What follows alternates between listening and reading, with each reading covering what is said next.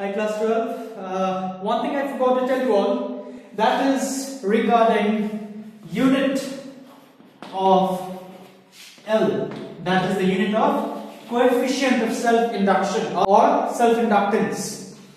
So uh, self-inductance according to definition is E di by dt okay the change the rate of change of current so to say in the denominator Okay, this can also be written as minus E divided by delta I upon delta T. If the change in time is a long change in time.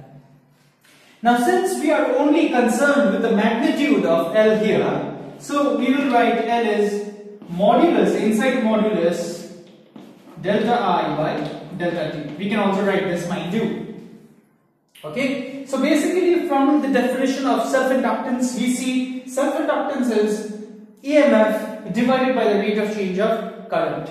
So, the unit of L, so to say, is the unit of EMF is volts denoted by a capital V divided by change in current is denoted by an ampere Okay, the unit for change in current is ampere and the change in time is measured in seconds. Now since we have a fraction in the denominator, so therefore this S goes to the numerator, so we can write volt second per ampere.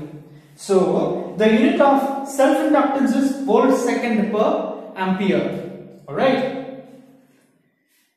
So remember this can also be written as capital W small b divided by ampere because volt second is Weber where Weber is the unit of magnetic flux mind you. We get this unit from another definition of self-inductance also so to say. Self-inductance was the magnetic flux divided by the current. This was the initial definition of self-inductance we started with. Okay, so magnetic flux is Weber, measured in Weber, and current is measured in amperes. So here, okay, so to say this definition of self-inductance and this definition of self-inductance are basically the same.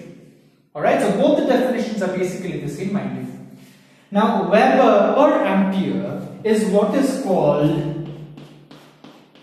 or what is rather denoted by a capital H. Capital H itself is called Henry okay? Of course comes from the name of a person. So therefore so to say SI unit of capital L is Henry.